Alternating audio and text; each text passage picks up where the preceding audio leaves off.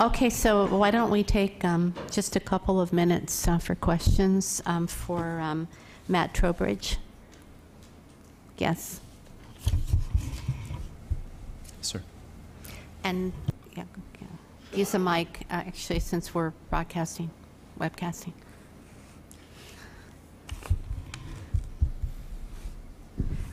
Dr. Trowbridge, would you spell out a little bit more the, the metrics that you're talking about in the very last slide? Because they seem to me to be, until we develop those, it's going to be hard to push them, to insist on them, to credit them, to judge the effectiveness of them. So I'd, I'd be interested in a little more detail there. Uh, Absolutely. Um, And obviously, that is a, um, a large, a big conversation. Um, I, I think what I, what I want to make sure uh, you guys understand is that I, I personally, no one is sitting off quietly with a secret set of the perfect health and wellness metrics for the real estate industry at this moment. So, um, and I'm not claiming to have them either at this exact moment.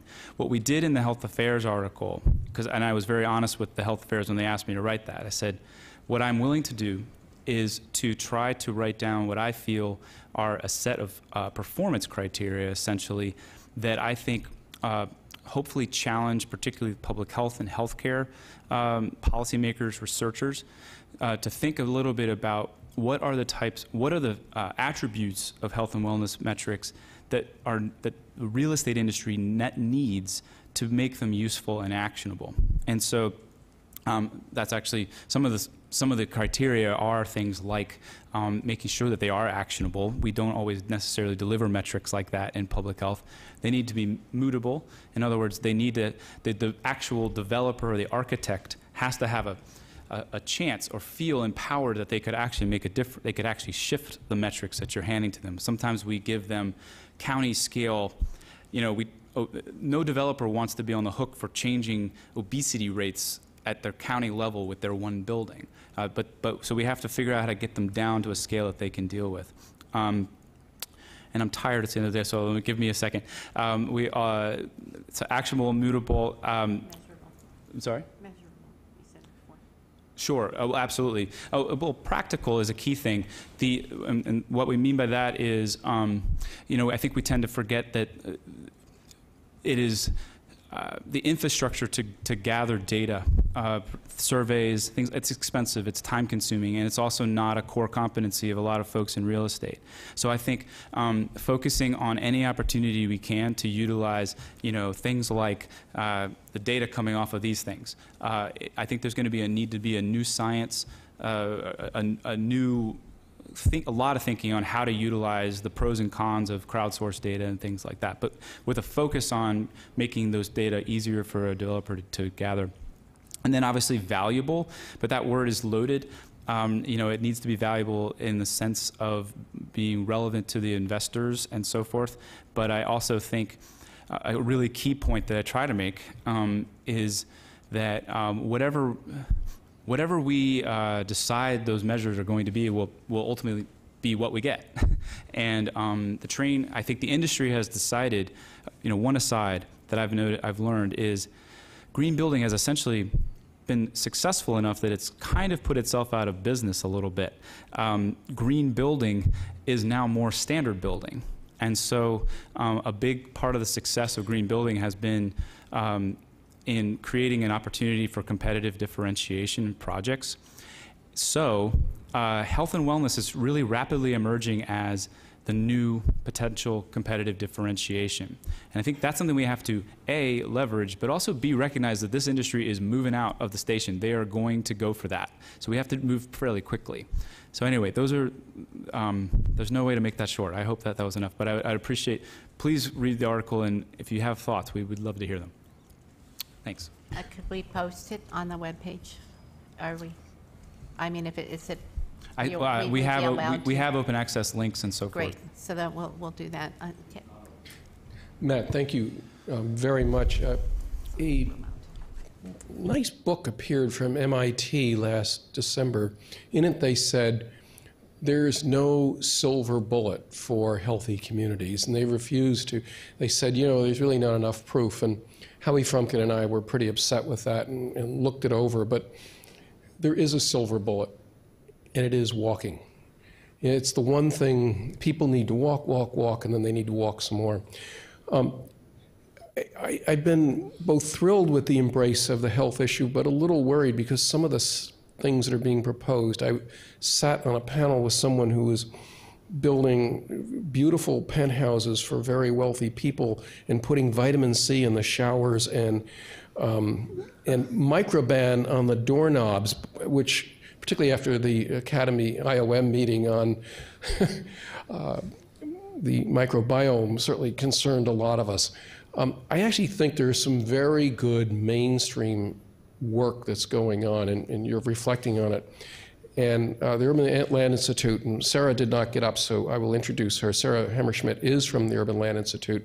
They have done four major reports on building the business case for uh, healthy communities. Um, I love rule number one put people first. And rule number five make the healthy choice the easy choice. And Sarah is now working on the last one was around uh, the issue of um, empowerment, diverse, and affordable housing in the in the new developments. This is new thinking for a lot of the big developers. Is affordable housing. Sarah, you want to say um, it's a way of introducing yourself and ULI's work to the group. Just say quickly what this next report that's coming out is. Yeah, I think you need to, and introduce yourself as well. She is a doctoral student at the University of Texas as well. I do lots of things. Um, so yeah, as Dr. Jackson mentioned, we have a new um, report that's coming out that we're actually partnering with the Center for Active Design, who did the active design guidelines that you mentioned, and it's targeted at developers, and it's providing. Um, it's a set of 21 strategies that they can start implementing into their development projects from the building scale to the community scale that actually have um, documented health improvements. We've, we've looked at the research in order to do that. So that'll be coming out in January or February. So that'll be something specifically targeted toward that community that should help as well. That's great. If I could just respond real quickly, I think something, uh, not surprisingly, Dr. Jackson said something quite uh, profound and interesting and useful. I, I actually firmly agree with you that um, I actually think that one of the walkability is actually a metric we need to embrace, but also study, because I think it's the right kind of thing. Because um, uh, first of all, I think one of the things I've always loved about the way you frame these issues is that you you emphasize the importance of design. Not just this is not going to be just come down to sidewalk yes no or whatever. There's this design, and I think walk. What I like about walkability is that it doesn't turn off the designers um, as well because you're not overly constraining what we're not going to get the same environment over and over and over because sometimes I think in a, when you go down an empirical or kind of a science way, you, you it looks like you're going to have the same thing over and over, and we don't want that. But I think walkability um, works. I mean, I've heard, one person I've if you haven't read it, I've been really I like the way Jeff Speck uh, reframes it in his book Walkable City. He talks he comes with the same conclusion. If you had to choose one metric, be walkability. My question to this group going forward, it's I'm I'm struggling with myself. What are the other big ones? That's going to be something like walkable. I don't know what they are perfectly yet, but they, we need to capture some of the other domains um, as well. So I appreciate your talk and, and the metaphor of the trains leaving the station. There's a lot of trains leaving the station all at the same time, some good trains, some bad trains. And one train that this group has been interested in has been bringing health into the sustainable development goal process, the idea of health metrics at a very macro scale.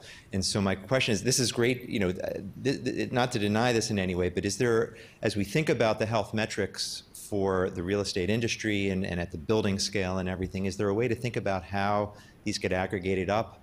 Uh, or there are, you know, kind of metrics connect to the kind of data that are available at the macro scale so that we can incorporate some of these ideas into very large scale economic development projects?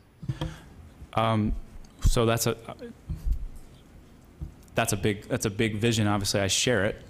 um, but uh, one of the ways we've been working on, um, I'm starting to become convinced that one thing we, we're going to have to focus on is perhaps um, what are breaking down like if, if we have an idea of like an index that one particular entity wants to use i think what we're going to have to be careful of is that every group is probably going to want a slightly different index.